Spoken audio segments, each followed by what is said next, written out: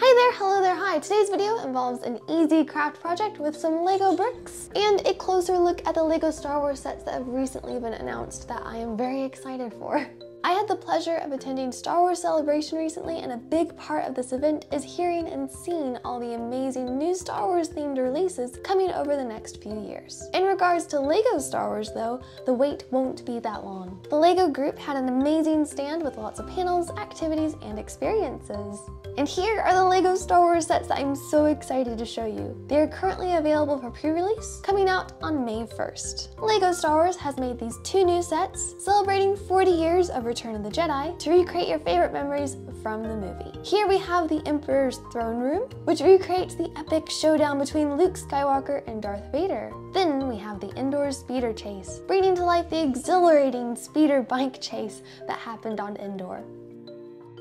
As Star Wars fans, we all have our favorite moments, memories, props, and things that we love, and LEGO Star Wars does a brilliant job of bringing those to life. So I really enjoyed the new sets where you get to recreate those moments. The LEGO group is encouraging everyone to get involved and recreate their own hashtag return of your Jedi moment too. You can check out all the new sets on lego.com, but before that, let's do a craft project. After Star Wars Celebration, I went straight to Japan. I am in Japan currently.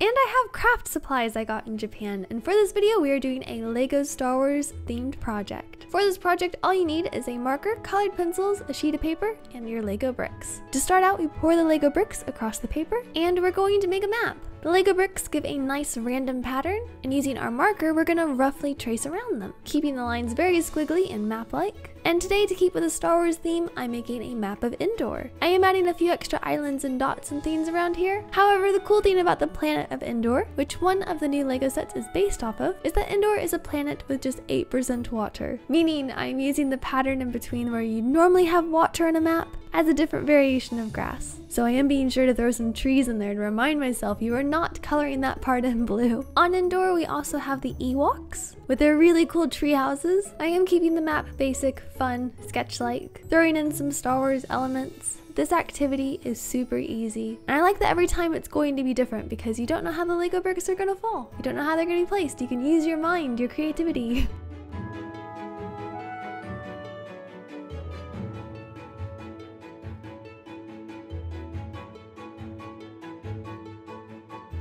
And now it's basically a coloring book, so I'm going to use my colored pencils to color in the main shapes. And then I'm using something different here and incorporating my Lego bricks to help me out. I have chalky pastels here, and I'm using my Lego brick to chip off the color, and then using a paintbrush, I'm smearing it into the page. Sometimes colored pencils have those harsh lines and edges and take a very long time just to color in, and this provides a nice airbrush, watercolor-esque effect to the page without having to use watercolor or an airbrush. just that nice little pop of color color that you need.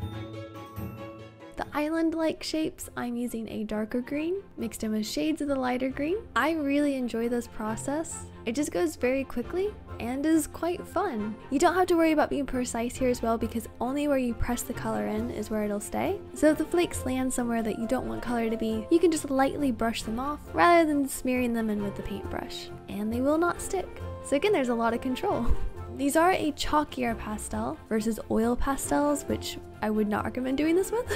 Again, Endor is a planet that has very little water in Star Wars, so I will be making this map mostly green in tone, and then in between I'm using yellow and green to make it more path-like. However, if you're doing a traditional type map, you can definitely utilize these shapes as islands with the water in between. This is my favorite way to use pastels actually, just to add that little sprinkle of color quite literally. Let me just fill out some details, have fun with it, and we have a Star Wars themed map here. I really enjoy doing projects like this. They're lots of fun, you can do many different versions, and I really enjoy Star Wars. So doing a drawing of Endor was definitely very fun. I think in the Star Wars universe, Endor is one of my top planets. I like all the nature. I do not think I could do a desert planet. That's not a me. But trees, I like trees. Again, this map was inspired by LEGO Star Wars and the new sets that are being released. I'm a huge fan of LEGO Star Wars and I cannot wait for the new sets and to be able to build them. If you do leave a comment down below, do be sure to use the hashtag and share with me your favorite moment from Star Wars. Thanks for watching and I'll catch you next time. Byes, goodbye, byes.